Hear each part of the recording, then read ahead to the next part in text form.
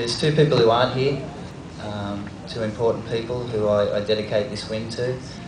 Um, my mother, who passed away of breast cancer in '99, she she knows how important this race was to me. It was uh, you know something I watched in '87 and, and decided then I wanted to be a triathlete.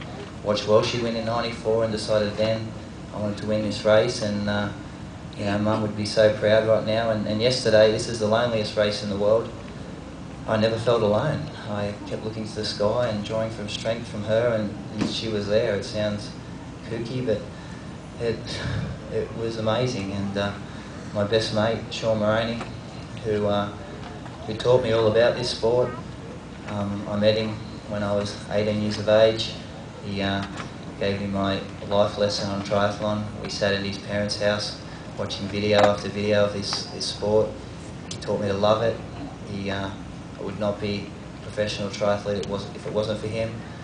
He uh, gave me belief in myself and uh, we, we decided in 94 that we were both going to, when Welchy won, we were both going to do this race one time together. And uh, our, our, dream was to, to leave the bike at Hawi.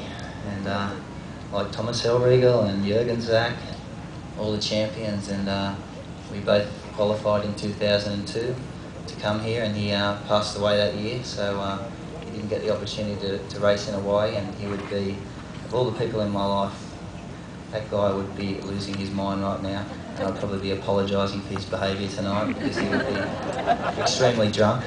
And, uh, but they're the two people I'd really like to dedicate this win to. Um, very special people in my life. I miss them immensely, and uh, they were there with me yesterday. And um, all I can say is we, we did it, my support crew, everybody, we did it, and uh, I'm just so proud. And just thank you to the, the champions of the past. You inspired me as a kid.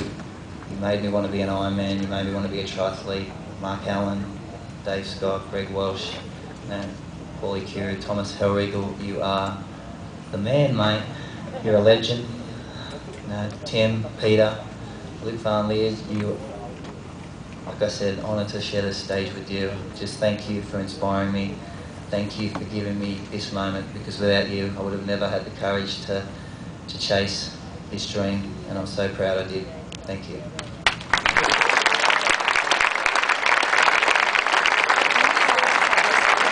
For Chris McCormack in the top 10, the best in the world right here in front of you. These guys put on an incredible show yesterday.